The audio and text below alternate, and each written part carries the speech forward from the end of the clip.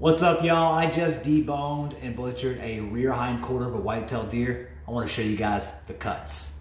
The top round, the eye of round, the bottom round, your shanks, tri-tip, sirloin, and that rump steak, y'all. Mmm, mmm.